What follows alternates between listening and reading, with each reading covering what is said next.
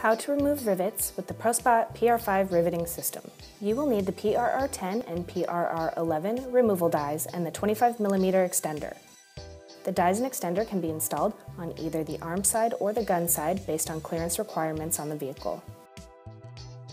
Using the wrench and screwdriver, make sure that the dies are secured tightly to prevent any damage. In this video, we will show you how to remove two types of self-piercing rivets, one with a backside dimple and the other with a flat backside. To begin removal, center the male die in the middle of the dimple, making sure that nothing obstructs any part of the gun or arm from pushing the rivets straight out of the panel. If there is no dimple for the die to engage, you risk being off-center and damaging the die.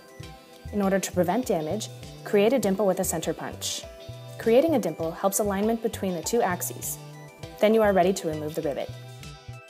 A tech tip to help check your alignment is to push the head of the rivet to just start protruding out of the front side of the panel.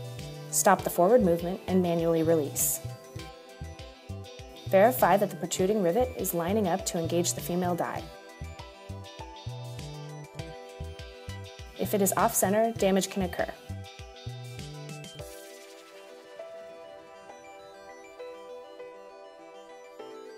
Finish the process and remove the rivet.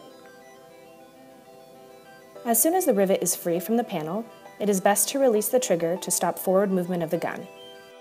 Make sure that the rivet drops out of the female die after each extraction to prevent any jamming.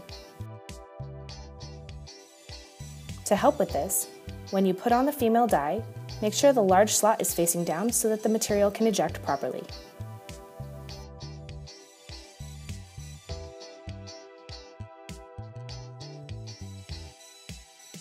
Thank you for watching. For more questions on ProSpot, visit prospot.com.